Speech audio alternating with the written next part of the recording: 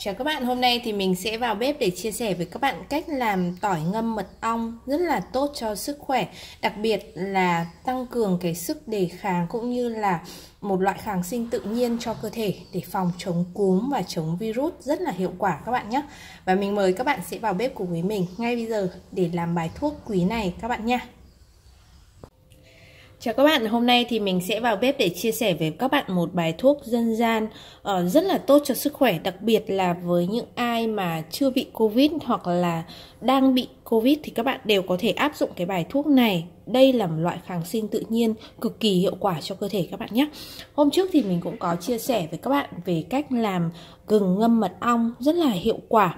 Uh, tuy nhiên mình cũng phải xin lỗi các bạn bởi vì là mình chưa có nói rõ về cái cách mà các bạn pha được một tách trà gừng uh, mật ong. Bởi vì là mình cũng đã nói với các bạn rồi là cái thời gian mà mình bị covid ấy là mình ở trên ông bà ngoại cho nên là cũng không có đầy đủ tất cả các phương tiện để có thể chia sẻ với các bạn. Chỉ có thể à, đăng tải được cái video ngắn như vậy thôi.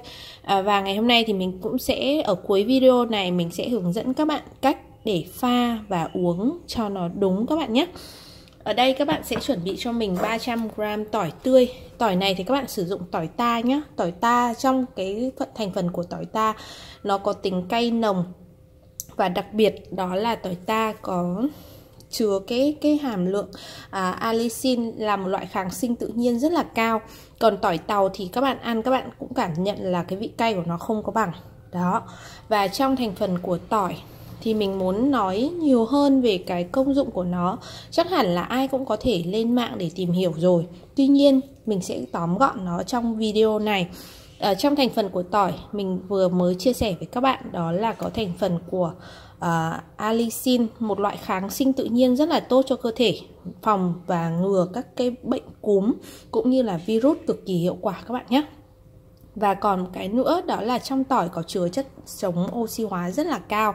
Chính vì vậy mà nó sẽ có cái khả năng đó là chống viêm và chống sưng cực kỳ hiệu quả. À, hơn những thế thì trong tỏi nó còn có thành phần của lưu huỳnh nữa. Chính vì vậy mà tỏi có đặc tính kháng khuẩn và kháng virus rất hiệu quả các bạn nhé.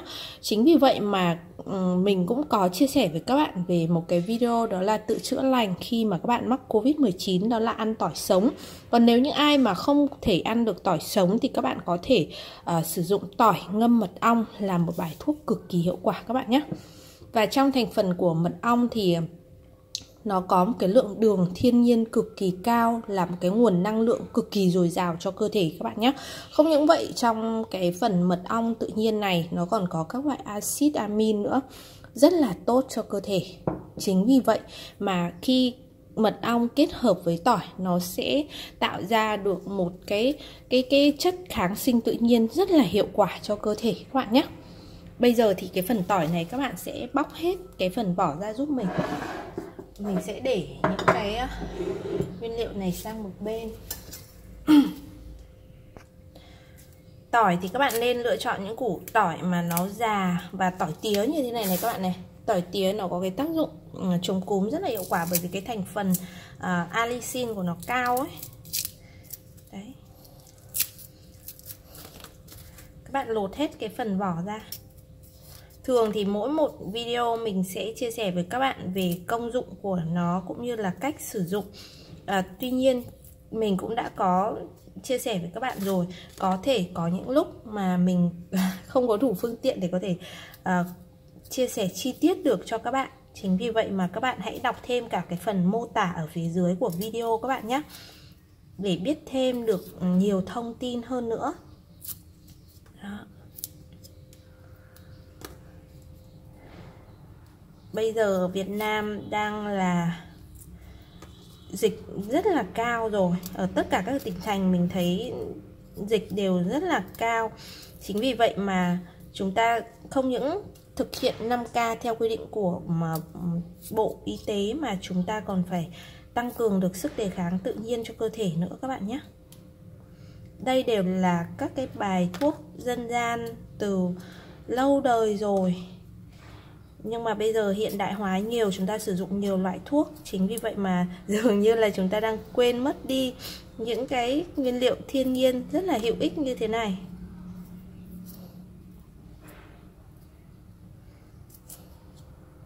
Mình cũng sẽ cố gắng để tìm hiểu những cái bài thuốc về thiên nhiên à, để giúp cơ thể của chúng ta khỏe mạnh, tự chữa lành sau khi bị covid các bạn nhé.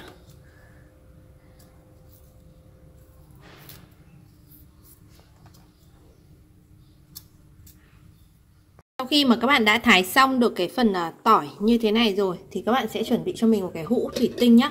À, với việc ngâm mật ong và ừ, tỏi như thế này thì cái hũ thủy tinh này của mình nó phải khô, phải rất là khô các bạn nhé. Các bạn sẽ cho hết cái phần tỏi vào đây.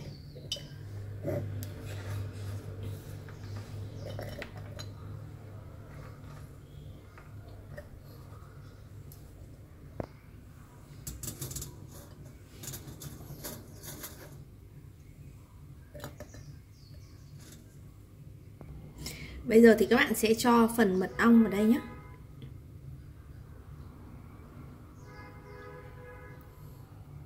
Các bạn sẽ đổ đầy hũ này. Cái hũ này của mình nó là à, 450ml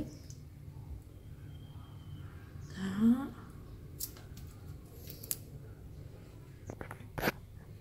Đây các bạn sẽ cho đầy hũ như thế này nhé.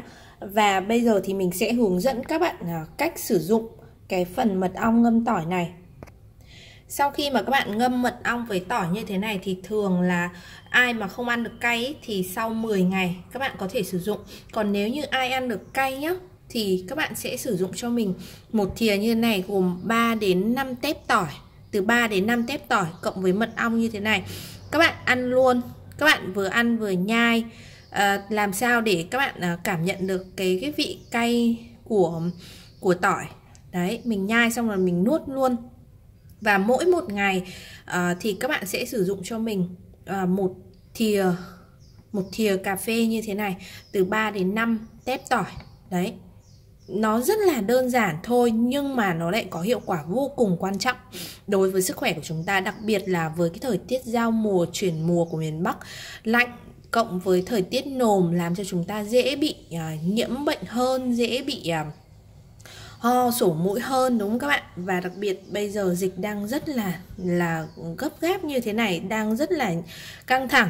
Thì chúng ta hãy tự bảo vệ sức khỏe cho gia đình của mình chỉ bằng những cái nguyên liệu rất là đơn giản và hoàn toàn từ thiên nhiên như thế này các bạn nhé.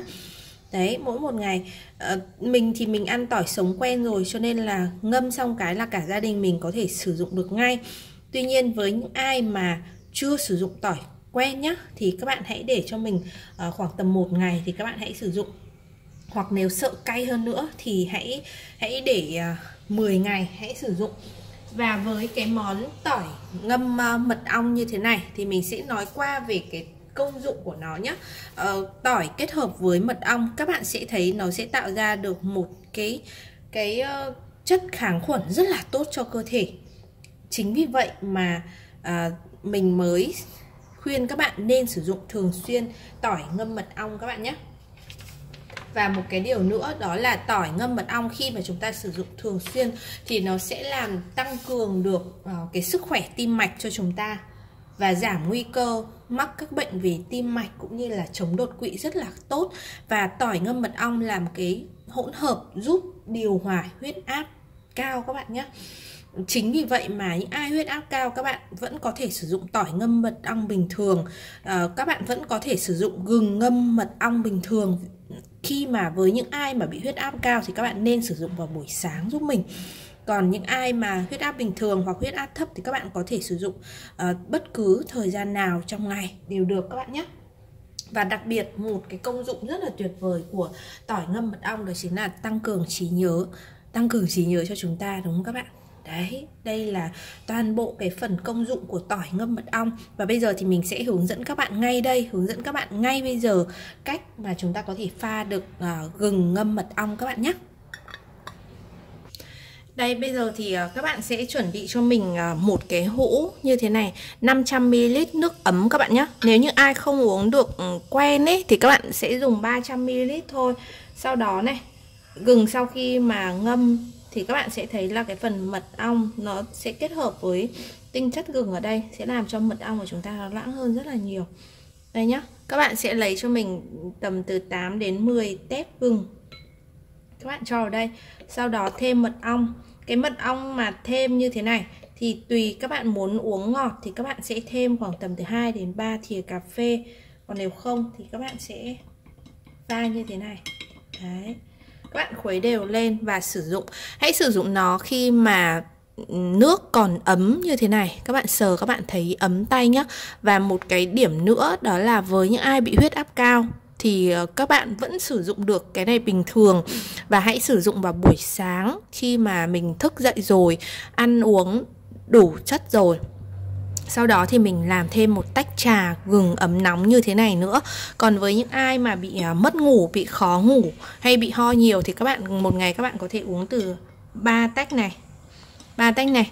Và uống trước khi đi ngủ 2 tiếng uh, một tách để chúng ta đi vào giấc ngủ được dễ hơn các bạn nhé và đến đây thì mình xin kết thúc video ở đây nhé chúc các bạn sẽ có một sức khỏe thật dồi dào.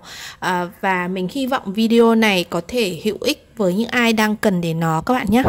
Hẹn gặp lại các bạn ở các video mới nhất của mình các bạn nha. Và bây giờ xin chào và hẹn gặp lại các bạn.